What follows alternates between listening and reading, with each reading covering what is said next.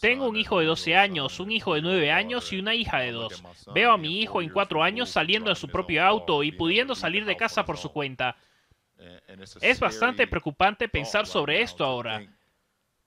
Uno le dice a su hijo que si lo hacen detenerse, que haga caso y escuche al oficial para que sea respetuoso y todo se resuelva bien. Pero estos videos siguen apareciendo. Es una situación escalofriante.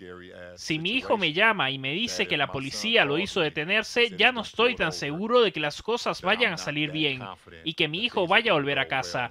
Y apenas acaba de comenzar el sexto año.